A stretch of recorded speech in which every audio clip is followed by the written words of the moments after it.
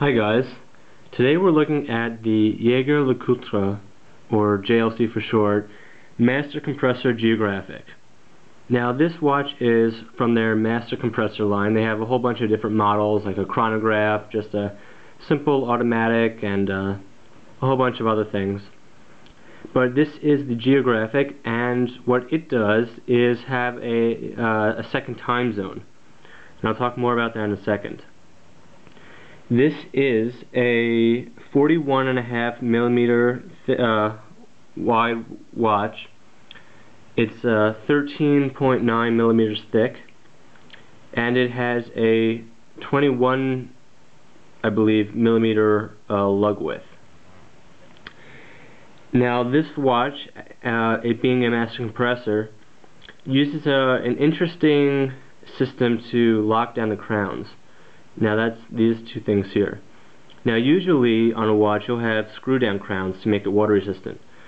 But for a master compressor, uh, it gets its name from these two little things here which you twist them back and forth and it just uh, it becomes watertight when you turn this little compressor dial.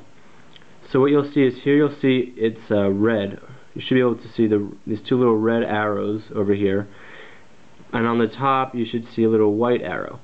So when it's when you see the white that means it's watertight it's that it's locked. And when you see the red that means it's not locked. So here it's in the open position. And then I'll just turn it and now you'll see the white arrow and that tells you that it's locked down and the watch is watertight. And this watch is watertight to 100 meters.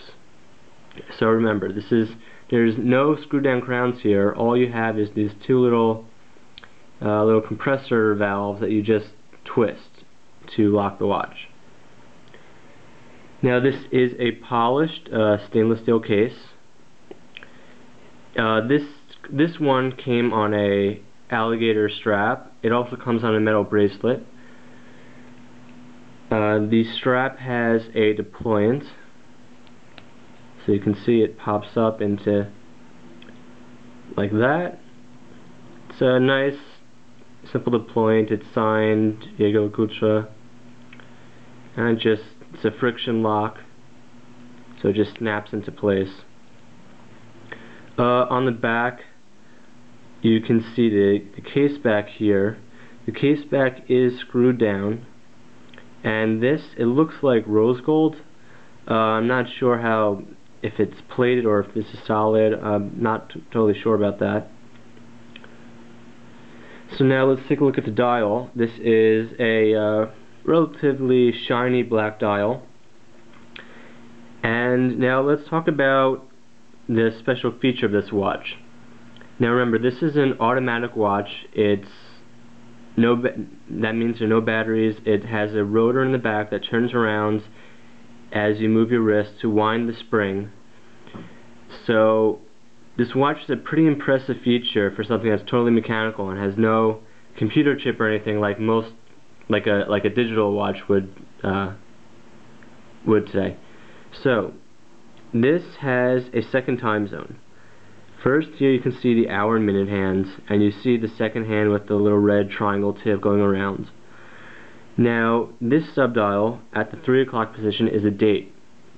Uh, you probably can't see this, but there's 31, 31 uh, numbers. Actually, no, there's only half the numbers are marked. In between uh, each number, there's a dot, so it goes 1, 3, 5, 7, etc., all the way around to 31. And now this dial over here is your second time zone. So this is a 12 hour dial. On the top of it, right now, you, it says PM, that's your little AM PM indicator. A lot of watches that have a second time zone are G GMT watches, and they'll have a 24 hour scale, usually around, uh, around the dial. But since this watch only has a 12 hour scale on its second time zone, you need the AM PM to uh, know if it's night or daytime in your second time zone. Now, on the bottom here, in this white area, you see names of all these different cities. Right now, it's set on to Paris, but right next to it, you see over here there's Cairo, here there's London, here it's GMT, uh, at the edge here it says Moscow, and there's all different cities, and this runs behind the dial all the way around the watch. So uh, I'm not going to change it now because this is not my watch. Um, I borrowed it for this uh, review. So I don't want I don't know how to work it uh, exactly, and I don't want to mess anything up. But basically, what you would do is release the compressor, and as you turn the dial, it's going to switch time zones on the bottom. There's a little red arrow in the center of this white piece, and it points down to what time zone you're on. So as I switch it, next it's going to go to GMT, then it's going to go to London, and it's going to go around to all these different cities, and I think it covers every time zone. So this is, it's a really cool complication. Uh, it's very useful because not only does it tell you, does it keep track of the second time zone, but you don't have to know what the difference is from, let's say, London to Moscow to uh, be able to figure out what the time is there. All you have to do is you set this for one city. So let's say I set this for Paris.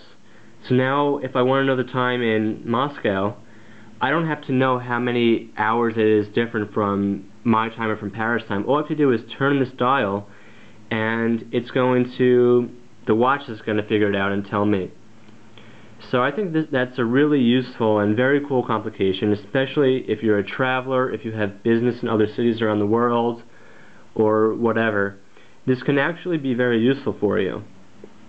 So now to set this watch, because it's uh, so complicated, besides having these two dials, there's also a little, a little uh, thing in there that you have to push in to set part of the watch. So you'll have to stick a little toothpick or a little tool in there to push in this little guy and then you'll uh, be able to set part of the watch. So I'm not sure I'm not sure exactly how to set it.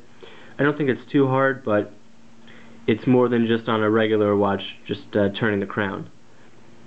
Uh, now it's a really really well made watch. Uh, retail this watch should be over $10,000 list price. So this is a very expensive watch.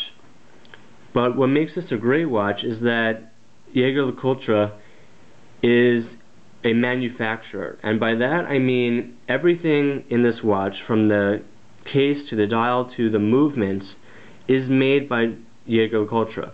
A lot of watch companies like Omega or Breitling and many other ones will buy a movement from a company called ETA and then modify it somewhat and then put down their watches.